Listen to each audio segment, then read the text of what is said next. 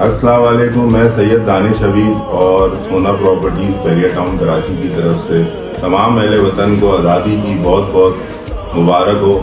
और मेरी अल्लाह ताला से दुआ है कि पाकिस्तान को अल्लाह दिन दुगनी, रात चुगनी तरक्की अता फरमाए।